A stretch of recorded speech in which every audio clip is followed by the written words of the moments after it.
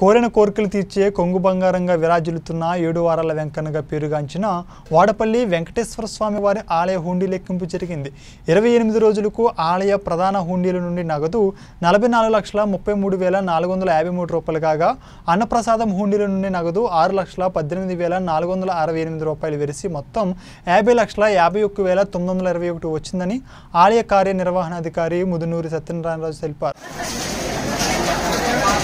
మీరు అక్కడ కూర్చుంటే మీకు తేగేస్తాం మళ్ళీ మీకు తేగేస్తాం అక్కడ కూర్చోండి